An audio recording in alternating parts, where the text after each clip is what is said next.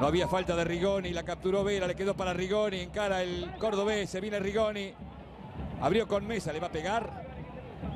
Lo esperó a Tagliafico, le va a pegar Mesa, jugó por bajo, le quedó Ortiz. Ángulo, travesaño y afuera. Buena llegada de Independiente, se fue conformando de lado a lado y se cerró por el medio con el tiro de Ortiz, Diego.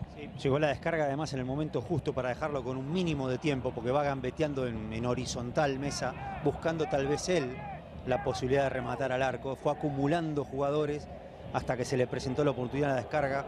Un gran remate. Santana y el centro, el cabezazo. La pelota que no entró, la pelota que no entró. Pegó en la raya, se lo perdió Kempes, el centro que vino. Josimar que no llegó. Inaudito. Y ha pasado el sofocón, picó. Vamos a ver si adentro o afuera. De acá no podemos precisar. A ver. Toda si- suya. Siempre se liberan las marcas cuando hay un cabezazo. Veamos. No, no ingresó. No Ni ingresó. la mitad No, ingresó. increíble el gol que cerró, pero la agarró subiendo a la pelota, ¿no? Esto un poco para resguardarlo.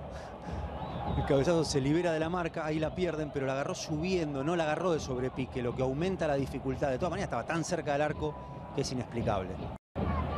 Se paró muy convencido Gil, muy recto a la pelota, pero muy convencido.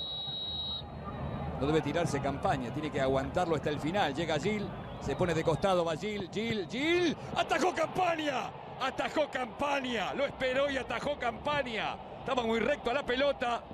Y el turno para quién ahora, Renato, en Independiente. Para Juan Sánchez Minio. Qué bárbaro, ¿eh?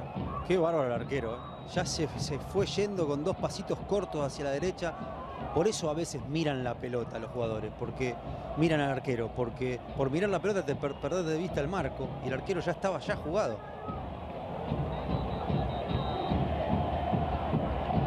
Llegará el turno de Sánchez Minio.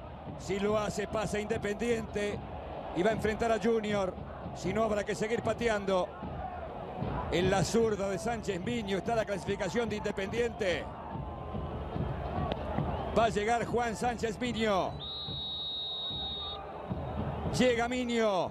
Miño atajó el arquero. Una masita de Sánchez Miño. Le dio chance, lo rehabilitó a Chapecoense. Atajó Danilo. Qué mal pateó el zurdo.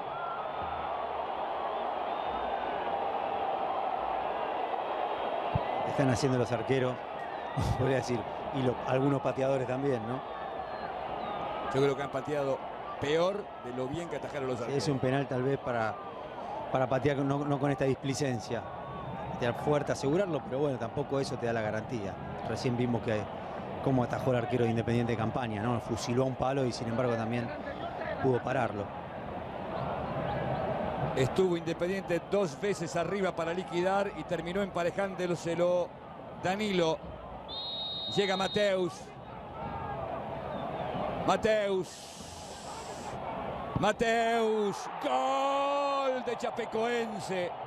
Se la puso en el ángulo a campaña y ahora obligado otra vez el rojo para conquistar el gol y empatar. 4 a 3.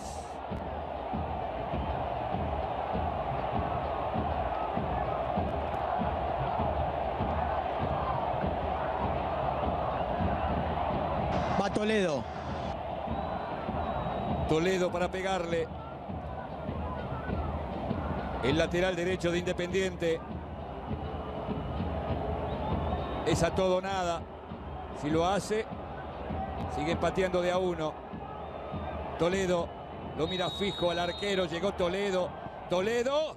¡Gol! Muy bien lo pateó Toledo. Se sacó esa presión, una mochila gigante, pesaba 50 kilos. Ah, de crack lo pateó, ¿eh? 4 a 4. ¿Dónde? No, Uno podía pensar en cualquier definición de Toledo, pero no en esta. Qué bien le pegó abriendo el pie el arquero, ni en la foto salió. Tiaguinho. Tiaguinho, el escurridizo delantero del conjunto brasileño. Le ponen los boletos los de Independiente, los hinchas y todo el mundo a campaña. Todo el mundo de Independiente. Tiaguinho va girando de costado. Llega libre Tiaguinho. Palo y adentro. Gol. Gol de Chapecoense. Casi la agarra campaña. Que se tira bien, ¿eh? Igual que Danilo del otro lado. 5 a 4 gana el equipo brasileño. Y ahora otra vez la mochila para Independiente. Mirá vos, Tagliafico. Se pasó. se pasó. Va a llegar Tagliafico, el otro lateral de Independiente.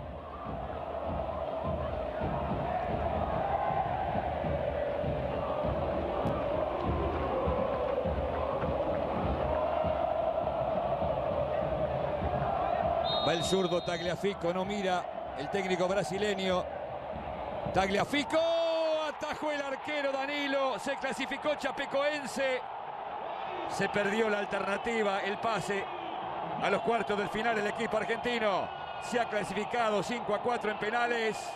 Chapecoense contra Independiente, que estuvo dos veces arriba y no pudo superar esa barrera. Ha pasado Chapecoense y su rival será Junior, Diego Latorre. Oh, se adelantó groseramente el arquero, pero groseramente en este penal. ¿eh? Digo, ¿para qué hay tantos asistentes, árbitros? Es increíble, se adelantó mucho más, un metro.